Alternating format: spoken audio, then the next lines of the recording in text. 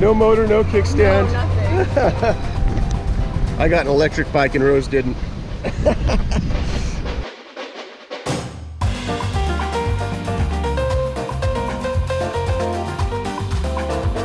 Arriving in Rio, we set up shop on the iconic Copacabana beach and decided to explore our surroundings.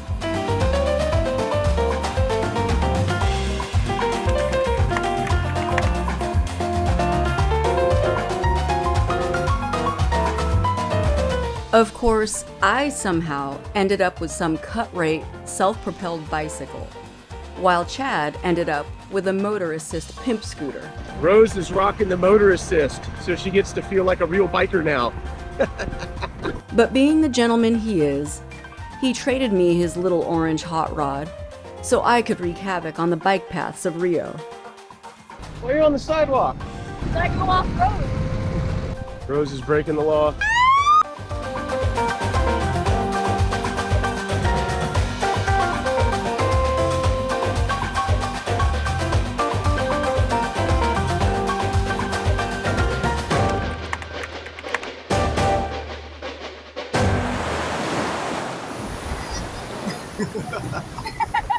After terrorizing both Copacabana and Ipanema Beach, Not, not working for you? and more rental bike woes, My bike had a flat tire. Actually, Rose's bike had a flat tire. I gave her my bike. So now I'm on foot and she's uh we returned to the hotel to clean up for our next adventure. A top 10 tour of Rio's highlights, including this guy Christ the Redeemer.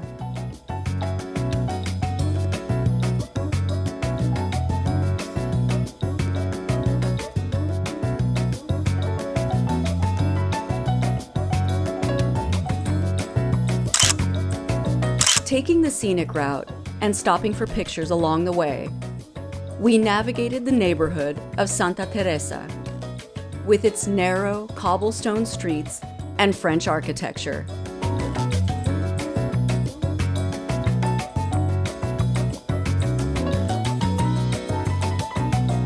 Once home to upper crust European immigrants, it is today a bohemian enclave similar to New York's Greenwich Village, minus the gentrification. And it just so happens to be on the way to Rio's most iconic landmark.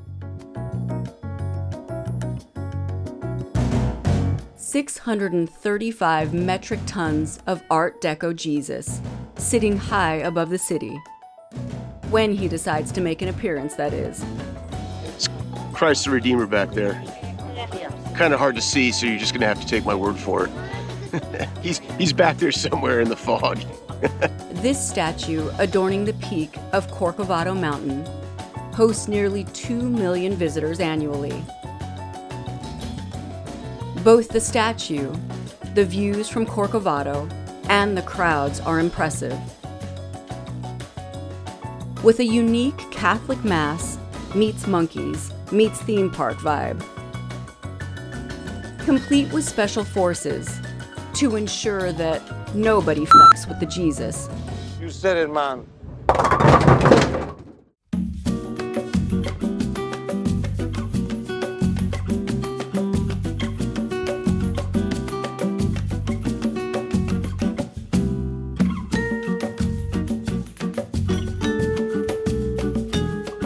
Escaping the crowds, we followed the tram lines down the mountain to, well, more crowds.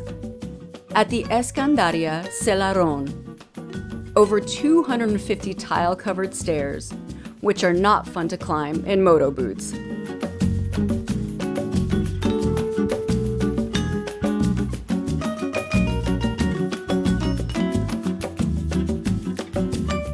This Instagram ready hotspot, named after Chilean born artist Jorge Selarón, who randomly started tiling steps in 1990 until his death in 2013, is popular with influencers and pickpockets alike.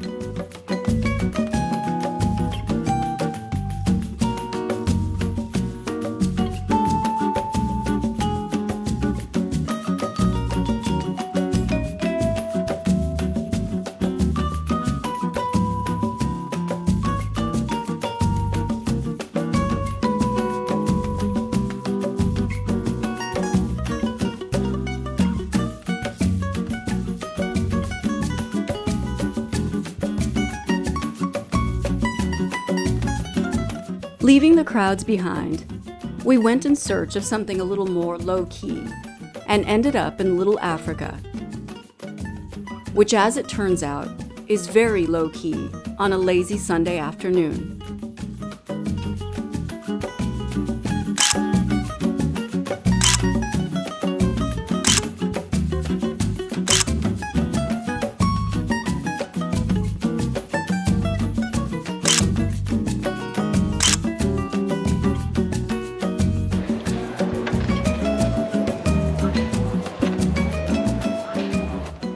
Why'd you do that?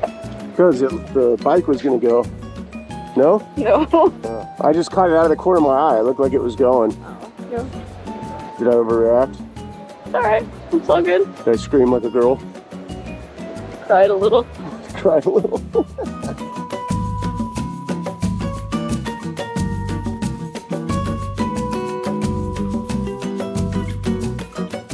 After a couple more quick stops by a contemporary and not so contemporary gold gilded cathedral, so Chad could scratch his church itch and I could repent for, well, things that didn't make it to YouTube. We headed back to the beach for our final stop of the day and one of Rio's most popular attractions Sugarloaf.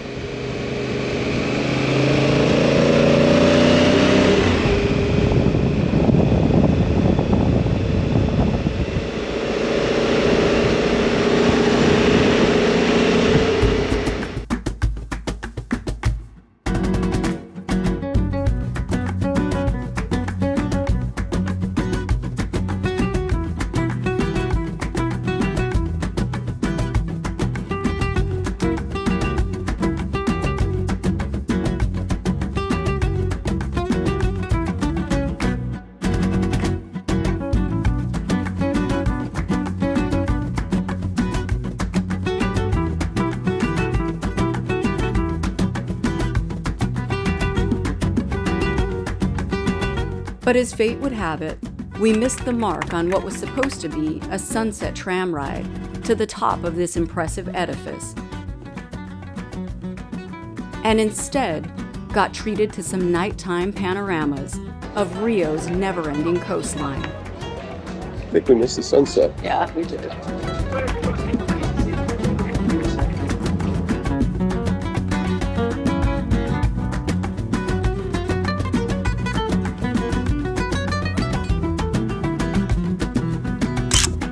All in all, not a bad way to kill a bit of time in Cidade Maravilhosa,